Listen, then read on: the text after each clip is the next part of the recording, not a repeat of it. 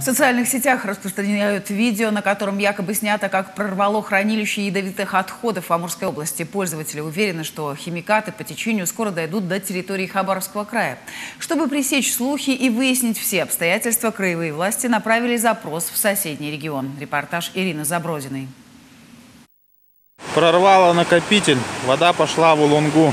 Видео и аудиосообщения, на которых тревожный мужской голос рассказывает об экологической катастрофе, сначала напугало жителей Амурской области, потом и хабаровчан. Неизвестный мужчина рассказывает, что после продолжительных дождей в озере, в котором собираются все отходы фабрики «Пионер», вода прорвала дамбу и пошла в речку Малая Улунга. Оттуда в Зею и, соответственно, в Амур. Теперь на рыбалку лучше не ходить.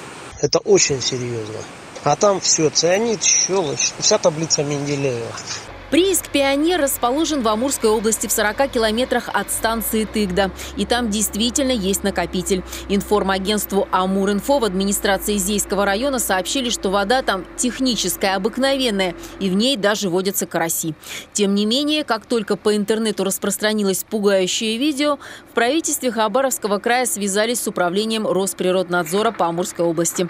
Предприятия будут проверять. Уже берут пробы воды. Кроме того, контроль будет осуществлять и Росгидромет. Запросили информацию в Росгидромете, она сегодня к нам должна поступить, о скорости добегания воды, ну, потому что это довольно далеко от нас.